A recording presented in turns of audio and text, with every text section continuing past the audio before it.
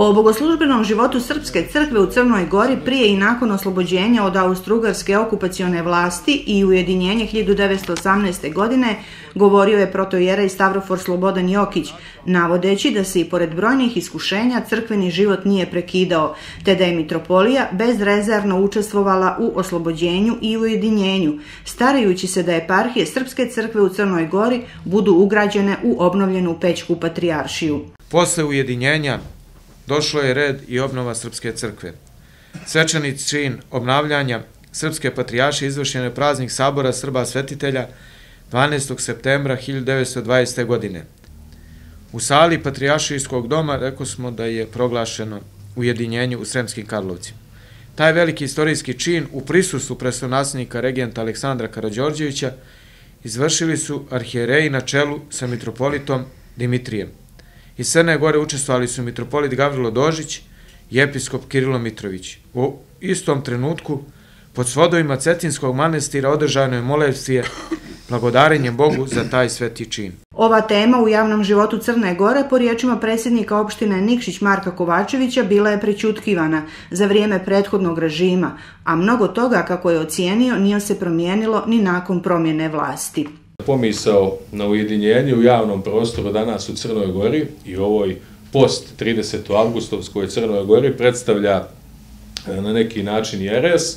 Ono što možemo da vidimo u istraživanjima javnog mnjenja, e, da se negdje e, na pitanje da li, bi se, da li ste za to da se Crna Gora ujedini s jutra sa Srbijom, da imamo nekih 7% otprilike ljudi koji su svim anketama uvijek izjašnjavaju pozitivno, Tako da možemo da kažemo da je to e, dobra osnova, recimo u nekoj kampanji e, narednoj, da se priča o ujedinjenju vrati, da bi ona sigurno imala e, i mnogo veću podršku od te kada su u jednoj ovakvoj situaciji ljudi e, u tom procentu jednom stalnom uvijek izjašnjavaju e, da su za ujedinjenje. Profesor dr. Drago Perović je naveo da je Matica Srpska društvo članova u Crnoj Gori održanim naučnim skupom i zbornikom željelo da pokaže koliko su velike međunarodne sile bile prijatelji malim državama i narodima kada su u pitanju nekadašnji, ali i sadašnji istorijski međunarodni odnosi. Prenosim jedan duži citat. Na vijeću četvorice velikih sila SAD, Velika Britanija, Francuska, Italija, o Crnoj Gori je raspravljano posljednji put 22. aprila 1919.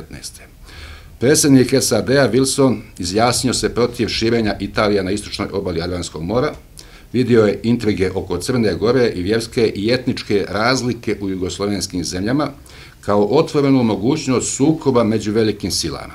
Kraj citata. Slično izvještavaju i dnevne novine toga doba, pa kažu Istorija Balkana u moderno doba predstavlja ilustraciju opasnosti za opšti mir koja može nastati na osnovu samog postojenja malih država koje se nalaze na strateški važnim mjestima. Kraj citata. Opet, dakle, samo interesi velikih sila i važni položaj. Danas, kao što znamo, pronosi se ideja o nekakvom partnerstvu i ravnopravnosti u NATO savezu. Kako je negativno određenje prema nekome značilo afirmaciju svog identiteta, nakon 1913. godine i odlaska Turaka nastao je vakum prostor za samoodređenje u Crnoj Gori.